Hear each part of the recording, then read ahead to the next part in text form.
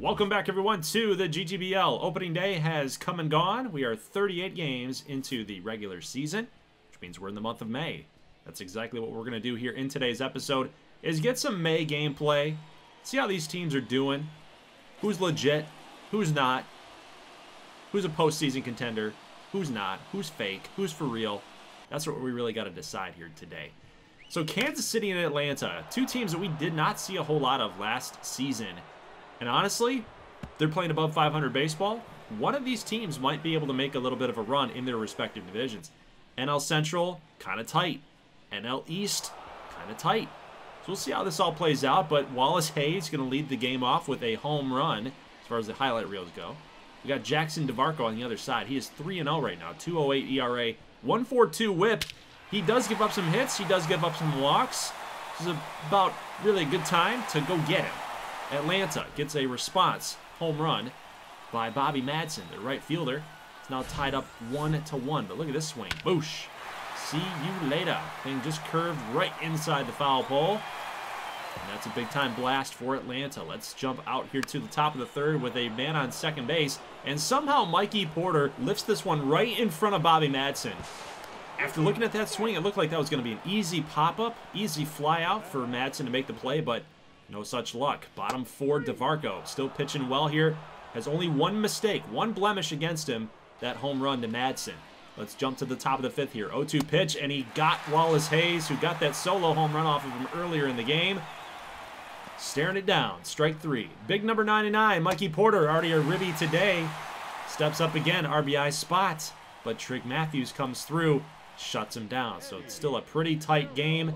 Kansas City's going to go to their bullpen here. Howie Sellers, 15 Ks to 16 walks. Does not have a lot of control, does this pitcher. So we'll see how he's going to perform here in the bottom of the fifth inning. He's going to get out of the little mini jam with a runner on base. So far, so good here for Kansas City, still holding on to that lead. Top six, Lamont St. Aud, the former Michigan Mallard, was acquired in the trade day, trade day package. He's going to come on with a leadoff triple. Wow. Atlanta, you got to find a way to shut this thing down. Strikeouts, ground balls, something. Nope, that's not going to get it done. Hans Brolo, the big first baseman, knocks him in. It is 3 to 1 Kansas City. Starting to get away from Atlanta just a touch. Trig Matthews has to come out of the game. They're going to go to the bullpen here. Let's see who they call on. Guillermo Mendez. He's 4-0. He does have one save and one opportunity and a pretty good ERA. Sparkling strikeouts to walks as well. I'd love to see that. He's a good pitcher. Got the ground ball that he needed. Should have been a double play. Luckily it was. First baseman able to make the tag with the glove. Even though the throw got him offline just a tad, just a little bit here. Luke Vinskov, the rookie. Ground ball over here to second baseman Xander Pollock. Makes the little flip over there, and they're out of the inning. Let's go top seven after a really good inning by Mendez. He stays out here for the seventh. Lederman comes on with a double. And then we got Benny Martinez. Big, deep drive out to center field, and Chris Rosario, the athletic center fielder, the speedy center fielder, cannot make the catch after a really nice dive. And that's going to allow another run to cross for Kansas City. Benny Martinez comes through yet again. He has been a big-time gameplay type of player. He comes through constantly in gameplay. Wallace Hayes comes up, gets another RBI. That's a sac fly, and it's 5 to one KC. I think this one looks to be over. Top nine. Vinskov gets a base hit here. Not his first, but his first in gameplay. Gets on with the leadoff double here. Atlanta will get another run. They'll tack on another run. Not in this highlight reel, but Wallace Hayes comes up again, and yet again hits a home run. That's two home runs from Wallace Hayes, and he definitely put the stamp on this one. This one's over. 8 to 2 is your final score. Kansas City gets a nice win. It is one win out of 162 games, so I completely get it.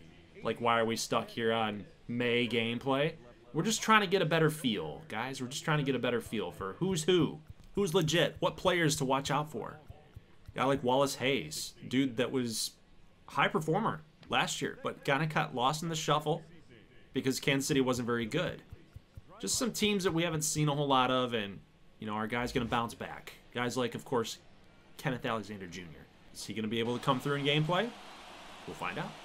We got Zeke Zachary on the mound here for Seattle against Richmond. 25 win Seattle, and he's been a major part of it. 6-0 on the season. Nine home runs for Ricky Hoberman. So good matchup here. Lefty, righty. Let's see who wins the battle.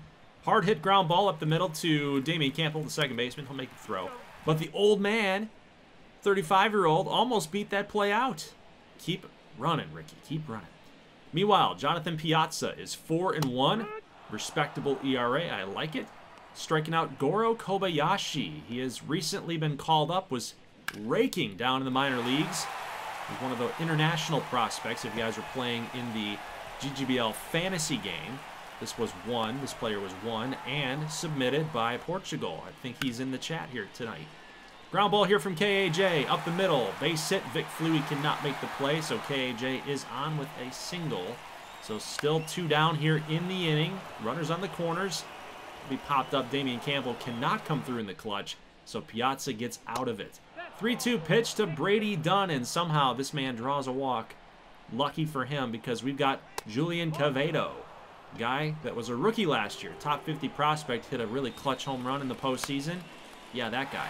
Yeah, he's, he's now up here at the big club. I think he performed admirably to the point he's got to be called up. So after a pop up to first base, Logan Boucher, who hits lefties really, really well, strikes out here. Zeke Zachary shuts him down. Let's go bottom third. That is a base hit for Josho Tora. So both KAJ and Josho Tora have a base hit here tonight. Damian Campbell laces this ball out to left field, and Brady Dunn handling duties out there in the outfield again cannot come through. And that's an RBI single off the glove of Brady Dunn. Unbelievable. This guy, he just doesn't come through for us. Ricky makes the play over at third base, and that is all Seattle's going to get is the lone run. Let's go to the top of the fourth inning. Ricky Hoberman, base hit, leadoff, single, hard hit baseball, right back up the middle again. He's timing Zeke Zachary up here pretty good, but Vic Flutie, ground ball, double play. Seattle, yet again, works out of a jam. That's why this guy is 6-0. Let's go to the fifth inning. Bottom five, actually. Josho Tora strikes out, so Piazza gets him there. Kingston Mondeser with one down in the top of the sixth. That is going to be extra bases for Mondeser, the rookie. Throw coming in from Kobayashi. He hits the cutoff man, but the speedy Mondeser able to get to second base. Good job by Goro Kobayashi in center field right there. I mean, that could have been a, a triple. Possibly an inside the Parker. He's fast. Kingston is very, very fast. But good play just to hold him to a double. So Zeke Zachary's day is done. He's still holding on to the lead, but if we do knock this run in, he gets a no decision. Oh, off the base of the wall.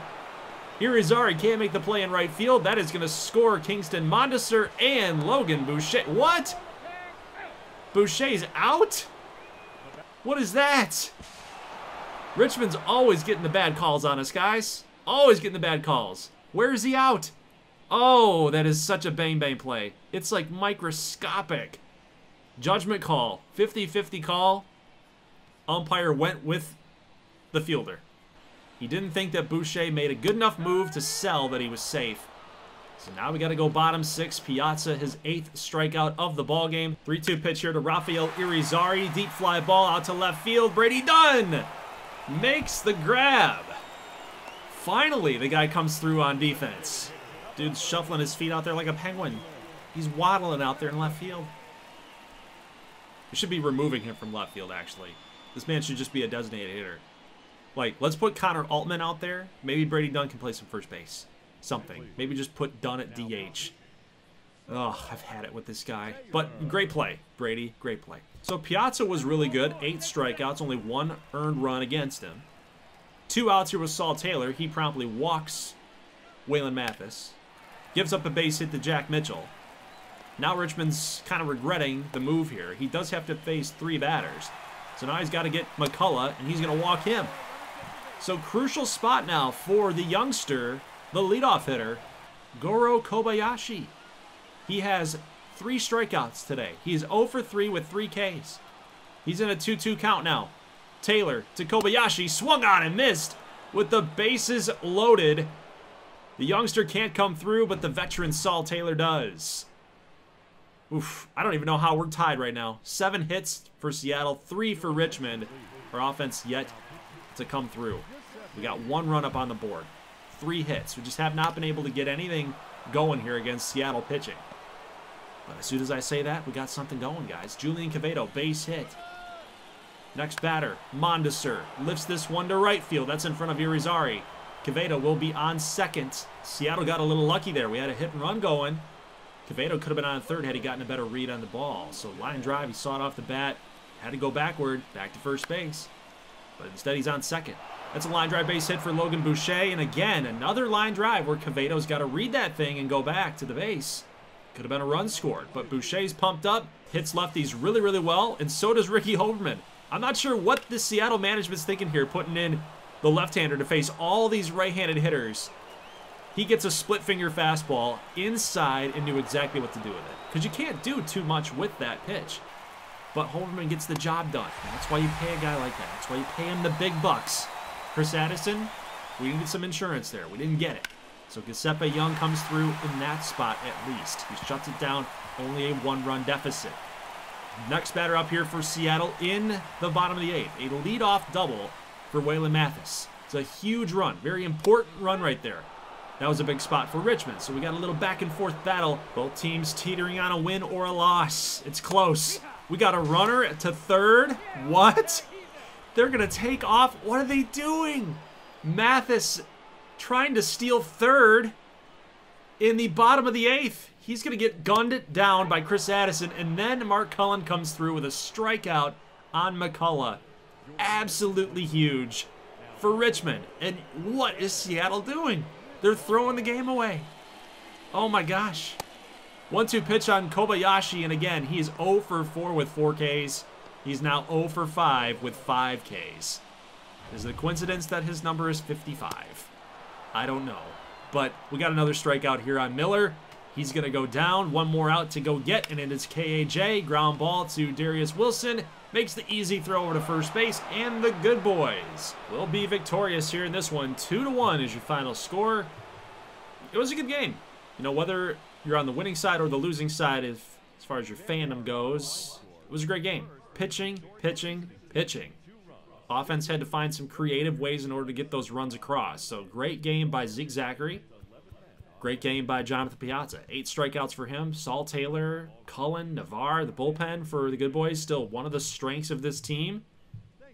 Got it done. Kobayashi, 0 for 5, 5 strikeouts. He is still, despite that effort today, despite that performance, he's still hitting above 300 at 306. So it kind of gives you an idea of how well he was actually performing before this game took place, right? Let's head on out here to Mallard Grounds. We got an interesting matchup here. Both teams the Michigan Mallards and the Houston Copperheads, both two and a half games back in their own division, their respective divisions. Of course, Houston being in the NL Central and Michigan being in the AL East. Kind of a cool matchup here. Plus, we've got Angel Escobar, the custom pitcher that pitched in the GGBL Showcase last season. So he was just drafted a year ago. He's been in the bullpen, so kind of easing him into some action, but now he gets his first ever GGBL start and he's just striking out everybody. He's got three strikeouts in the first inning. Like that fastball, that delivery, the guy has some pretty nasty stuff by the looks of it here. Houston with Valenzuela coming up. Gets an RBI double. Should be a double. Easy double right there. It's going to be the first run here of the ball game. So 1-0 Houston. Let's go top third. Denzel Good, the fourth. In the gap. Base hit. He's going to get another run home. Houston should be up 2 to nothing, easy. And Denzel Good's going for third. He's got that. RBI triple for the Copperheads, and they are jumping all over Michigan right now. Still top third. Jay Kinney comes up. That's a base hit here to right field. Throw is not going to come in. They're just going to concede the run. Don't even try it. Jay Kinney probably going to head for second at that point, too. Top fourth. 3 nothing game, and Donnellan is still out there, and he's going to give up a two-run shot here to Peter Fortenberry. That thing got out in a hurry. That was a blast. Number seven here for Fortenberry, 110 exit velo. Might as well call it 111. Kai Rico comes up with a 2-2 pitch in the fourth, same inning. Gets a base hit here, and Michigan's just like checked out. I don't know what they're doing. Like, What's going on here? Michigan's not ready to play tonight. Sean Hudson's got to come on and shut this thing down before it gets way too out of hand. It is 5 nothing here still. Denzel Good is going to get plunked. Like, it just doesn't stop for Michigan. Let's see what happens here. Jay Kinney comes up, 2-2 pitch. He's striking out. That's a changeup. Pretty filthy pitch. You're gearing up for a fastball, something you can do some damage on, and then he tosses that off speed on you. Very, very tough. Then Doby strikes out swinging two. So Hudson comes on in relief and does a job. It's still 5 nothing. Meanwhile, bottom four. He's going to get Taylor. He's going to get Jet. Escobar is just slicing them up. Let's jump to the bottom of the fifth. Still, no hits given up to this point until Alex Humberto knocks one through the middle. So that is the first base hit given up by Angel Escobar. And then he drops a nice little slider right onto Puckett. That is strikeout number seven. And that's actually going to do it for the youngster.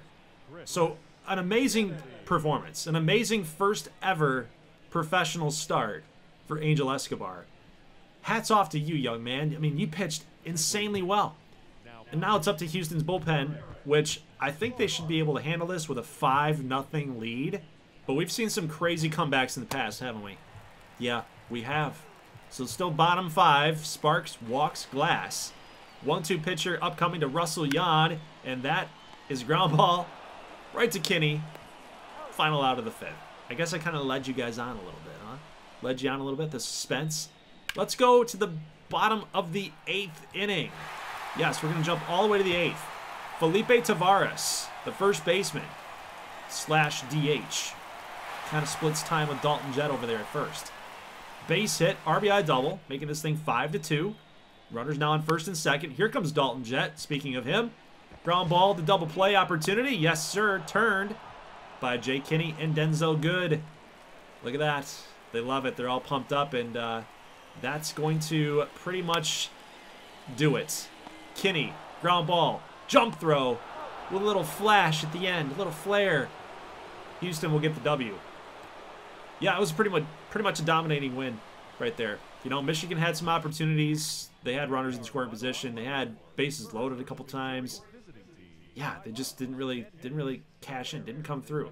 We'll take a look individually how Michigan's offense did because I don't think the big guys in the lineup did much. I don't think Dalton Jett did anything. I don't think Don Taylor did anything. Like they need those guys to step up. And Angel Escobar really knocking down that ERA, right? So zero earned, seven strikeouts here today. Dalton Jett 0 for with a K. Dom Taylor 1 for 3 with a walk. Two strikeouts. Parveen Mira, Humberto. So if you're Michigan, you're looking ahead to the draft. that's upcoming here in July. You need a guy that's going to be able to produce some power. Or even in the offseason if you guys are eliminated. Go get some power. That run production right now is abysmal. So guys, let's turn our attention now here to an AL West matchup. We got the Cyclones from Oklahoma City taking on the Colorado Coyotes. And why is this game important? Well, you saw the records. Colorado is currently one of the worst teams, if not the worst team, in all of the GGBL. OKC is 20 and 20, so they're at 500 right now. And, you know, Colorado's got a chance to turn their season around. They get on a good win streak here. They got a real good shot at potentially winning that division. Teams like the Nuggets, teams like the Cyclones that we're watching here today. You've got the Bandits out there in the AL West as well. It can be had. Colorado is one of my dark horse teams. They've just been playing terribly. And BJ Franks is one of the main reasons why. Their pitching staff has been awful. it's been bad. Two of their best pitchers, Satchel Michaels and BJ Franks, both been terrible this season. They got to find a way to catch some momentum. This would be a good time to do it. On OKC's side, they're 20 and 20. They're just trying to hang in as well. So really, two teams, they're on the teetering point of losing their season or keeping their season alive. So 1 0 Colorado after that Julian Lorenz solo home run. Then we're going to jump here to the top of the second. And Connor Slater giving up another solo shot. This one to Josh Adams. 441 foot bomb. That's ridiculous. That's insane. Bottom two, Cozart gets that home run back with 361. So not not as far. It was more of a line drive home run but it's a home run all the same. Top third, base hit right past third baseman. That is Julian Lorenz yet again. Should score the runner, and it will. It's going to be 3 to 1 Colorado. staking out to that early lead. They get that Cozart home run back. Still top of the third, and CC Chavez, deep drive to left field. That is the third home run given up for Connor Slater, and it is a two-run home run for Chavez. Of course, Slater's staring him down now. He doesn't really like that. The antics right there, but don't give up the home run. So 5-1 game now. Let's jump to the bottom of the fourth. BJ Franks kind of settled down a little bit here, but a man on first, and that is Cozart again with a base hit. And what a play right there in right field. Josh Adams throwing home, and what in the world is Han Berger doing? Then again, it's 5 to one. You got to make something happen here, but I think that's more of an incredible play on defense than it is Han Berger's fault. I'm going to say that's just an incredible defensive play. Man, Speaking of incredible defensive plays, here's Matt Tate lifting a foul ball out there to right. And look at Karev almost making the catch. Would have been an incredible play because the very next pitch is a solo home run. Matt Tate comes through and extends lead out 6 to 1. And it truly is a game of inches. If Karev makes that catch, Matt Tate doesn't have another opportunity to hit this home run. And watch where that ball comes off the bat. Like he com he completely lifted that thing. The launch angle must have been ridiculous there. Just to get that thing lofted out there over the seats. Game of inches. Neptune St. Clair, the rookie, comes through with another home run, tally on his total. He's got five on the season, getting this out to seven to one. Let's jump to the seventh inning. We've got a base hit for Paxton Burnside. So in back-to-back-to-back -back innings, five, six, and seven, you got Colorado tacking on more runs. It's now 8 to 1. I think that that's a pretty good insurance buffer right there for anything that Oklahoma City's about to do. Oh, what a play. Make the play, St. Clair. Ugh. Tosses that thing in the outfield. Here comes a throw from right field. Oh, could have been doubled up on errors right there.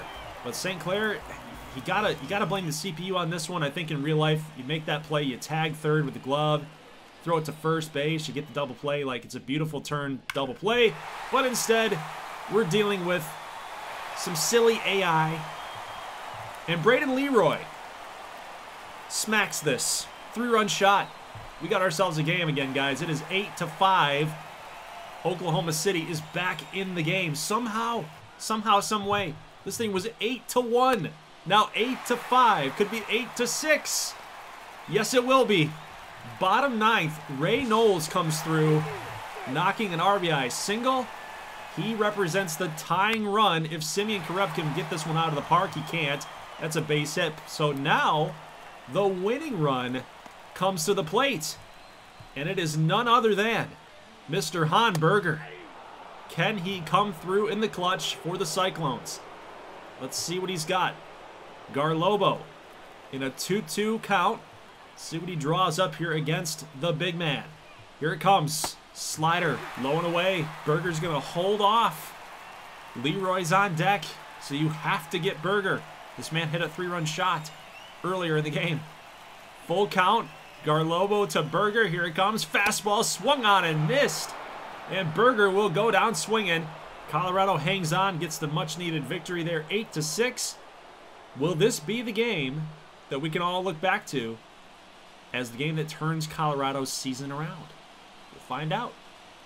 Game of the week coming up on Friday, by the way, guys. And then after the game of the week stream, I will be simulating the rest of the month. So we'll see if this game actually did something to boost the morale of the Coyotes clubhouse. Now, something to note here. Look how early the hamburger was in this swing. Watch this right here. I'm going to replay it one more time. Look at where the fastball was. It hadn't even crossed over the dirt, the dirt cutout. And Berger was way out in front of a fastball. It just goes to show how badly that he wanted to do damage on that pitch.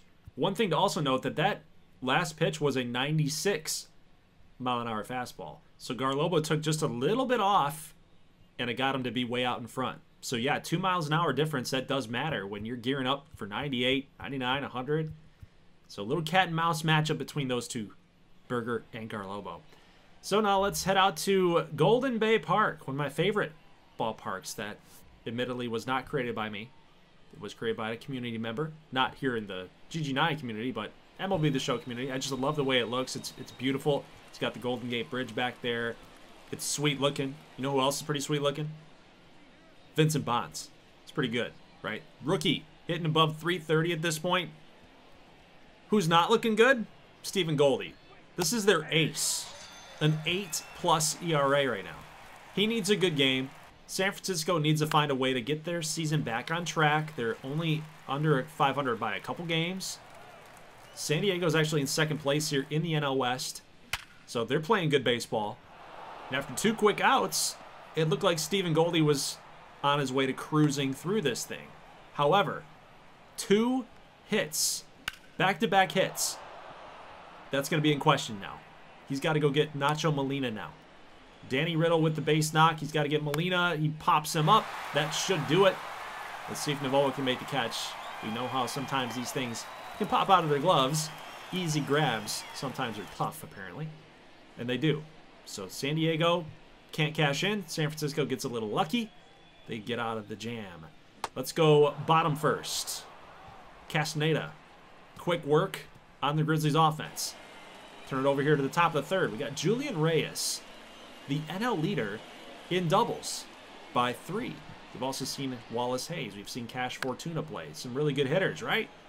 Well, Julian Reyes, no double here, but he does get a single. Going to move the runner up a base. So top third, Cornelius Kane back up to bat here. Ground ball should be a double play. Unassisted. Yes, sir. Two quick outs right there in the top of the third. The great play by Novoa. It actually looks like he's playing second base today. Looks like Schnell is actually the shortstop. So those beards kind of throw me off a little bit. Novoa's not the shortstop. He's playing second base. So we got a walk here. Danny Riddle.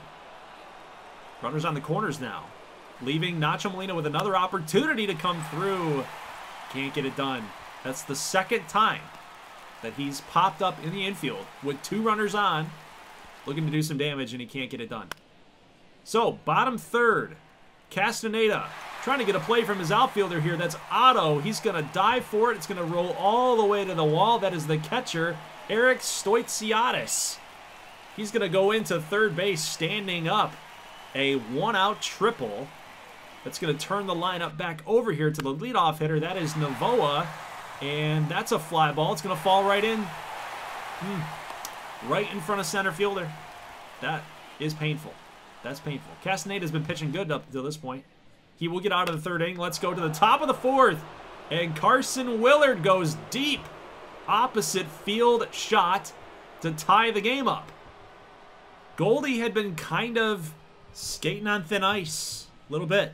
He's been working himself out of some jams, but this one left absolutely no doubt. Take one more look here on the replay. Carson Willard going opposite field. It had to hang on as long as it could. Went right over top of the foul pole. Unbelievable. So bottom fourth, Will Till able to draw a walk. And Castaneda's got this man to get. It's been Vincent Bonds. He's been a driving force in this offense all season long, but he's now oh over today. Can't come through with Will Till on base. Striking out. Full count pitch here. Two men on again for Nacho Molina. No pop up here. That is a three run homer for the big man, Nacho Molina. Number five on the season. Might as well be looking at the Taco Bell menu. That's Nachos BellGrande. Number five for Molina. Top nine, six to one. San Diego will get another couple runs here.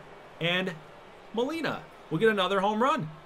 Might as well upgrade him to Nachos Supreme. Love it. San Diego will shut it down. Seven to one is your final score. Little pop up here to third base. San Francisco's offense was nowhere to be found. Castaneda and the bullpen for the Gauchos got it done. Only four hits for the Grizzlies today. Castaneda improves to 5 and 2. And Rocco Farmer, the bullpen man for San Francisco, gets the loss. Nacho, of course, being my player of the game. MLB The Show's player of the game as well. Two for today with two home runs. Four ribbies. Everywhere you look, offense was humming for the Gauchos. Five Ks for Castaneda.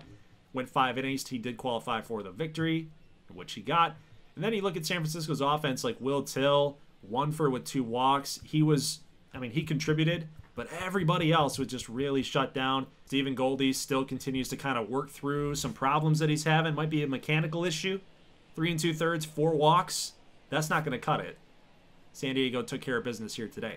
Let's get out to another NL West teams matchup here. We got the LA Knights taking on the Iowa Reapers. Two of the best teams in the GGBL this year. Love this matchup. I think it should be a good one. Let's get it started. Top first, Ricky Rudy giving up a base hit here to Xavier Hawkins. The leadoff hitter, of course, Terry Haas flying out. Next batter up is George Cruz, the number three hitter. Oh, what a throw from left field, but what a slide by Xavier Hawkins. Somehow he avoided that tag. That's unbelievable. And that was a hit and run, by the way. Like, that's a hot shot ground ball to left field, and somehow Hawkins, who was from first base, by the way, guys. He went from first to third on a ground ball to left field. That's insanity. Here's a deep drive to center field. Almanzar with the great job just to get there. But we've got miscommunication here. Ricky Rudy can't get over to third base fast enough, and Salvatore comes through with a two RBI triple. Iowa just continuing to rake. 3-2 count, and Dino fly ball to right field. That play will be made, but the run is going to score. So Salvatore scores. It's 3 to nothing Iowa. Giving Richard Strongman, who's already 6 and 1 on the season, a winning pitcher, a really big cushion. Look at this knuckleball. I mean, this is why Iowa is going to be really good this season. Again, they were the best team all year last year, but this is why they're going to be really good again this year. Good pitching, Good defense. Giuseppe Ferrari out there in right field got a strong arm. Somehow David Biak almost got thrown out. I mean, this is a very balanced team, very good team. Look at this catch by Terry Haas. Janil Rivera just got robbed of an extra base hit because of the speed from Terry Haas. This team is complete. They've got pitching, they've got defense, they've got speed, they've got offense. I'm I'm probably taking Iowa to win it all this year. Just saying. It's very early, but I think they got a little bit upset by Washington last year in the postseason. They came all the way back and beat them up three games to one. Like, I, I think Iowa's got this thing this season. I mean, they are taking it to LA. Top two, it is five to nothing now. Corey Davis with the two-run shot, number seven on the season. Ricky Rudy cannot believe that that ball went out. Like, he had to turn on that thing really, really hard to get that thing over the fence, and he did. Look at the knuckleball here from Strongman. Two strikeouts there. Bottom third we go.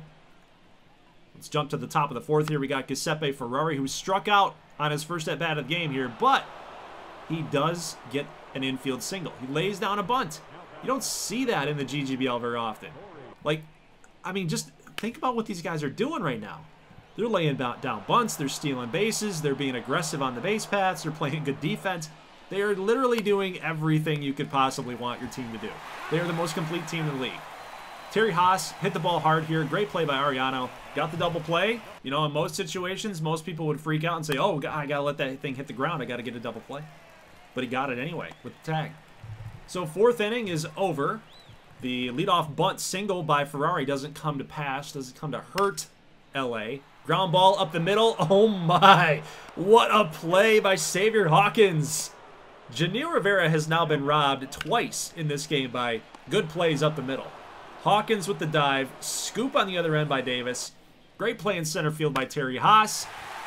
And with the one out, Vasquez will hit a solo shot. But is this where LA comes back? It's the fifth inning. They got four more to go.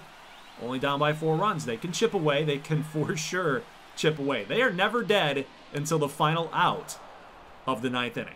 That's that's it. They're always in range of striking distance. They're always in range of striking back. 2-2 pitch here, and Bayek going to foul out, and that's going to do it for LA. We're actually going to jump all the way to the ninth inning, guys. LA has not scored any more runs. Iowa has not tacked on any more as well.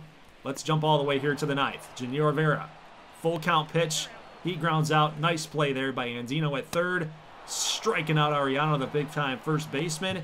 And Trujillo against Giovanni Ortiz. Ground ball, and that's going to hit the base. Hawkins with the throw back over to first. Almost got him. Almost got him. But this is what a team like the LA Knights, this is what they do. They find ways to just kind of hang around And you can't kill them until the very final out. It's like they sold their soul, man. They sold their soul to the devil. But you know what? The Reapers, just by nature, just by their very name, they might be a little more devilish. You know, they might have sold their souls too. They're really good. They might become the new LA. I hate to think that way because I kind of like them right now. I like them. I like the storyline that they're that they're bringing to the league. You know, they're kind of the, the up and coming team, but they might get there. Some people might start getting tired of how much they win. They're just a very complete team all the way around. Haas goes over, Andino goes over. Everybody else, I think, had a hit for the Iowa Reapers. They had eight hits in total, but you know, with five runs, it just tells me that they they took a lot of bases. They were aggressive on the base path and uh, got themselves into some good situations for their hitters. The rest was history. So Ricky Rudy, two and two thirds, was taxing the bullpen big time here today with Evers at three and a third, Clay Hodges with two, Timmy Cuevas with one. And then if you go back and you look at their box score, you had Janiel Rivera go oh over. You had Ortiz, the catcher, go one for. And then Ariano also went oh over as well. So the big three in this lineup didn't really do too much. Iowa's pitching staff got it done. They took care of business here. Didn't get too sidetracked with who they were playing, right? They didn't fall into the trap like, oh, it's LA. We're on the road. It's scary. No, they just went in, they took care of business, and then they got out of here, right? They got out of here with a W. A very solid W. Regardless, guys, live stream on Friday night, 9 o'clock Eastern Standard Time. Our game of the week this week will be Washington against Las Vegas. So interesting matchup there. I don't think we've ever seen those two teams play against each other. Should be a fun one here. Vegas is currently shooting for first place. They're kind of in the mix right now for the playoffs, but again, it, it's early.